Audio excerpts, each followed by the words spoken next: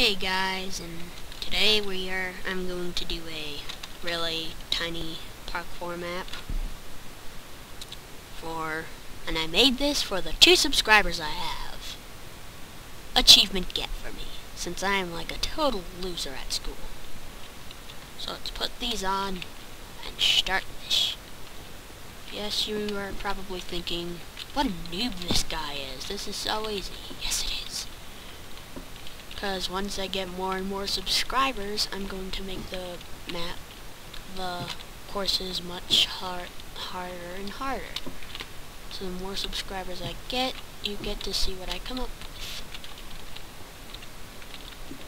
So, yeah. It's like, not that much of a deal. And what, and I, yeah, so, jeez, what is up with me? Okay, yeah. This is like the most challenging jump in the entire thing.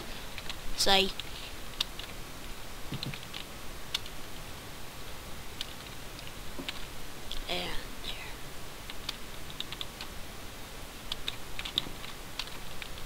Yep. Once I get to 10, I'm going to do cactus parkour, which is my weakness. It's like terrible for me. I'm like terrible at it. So yeah, here we go. And yeah, thank you for those two subscribers. Adios.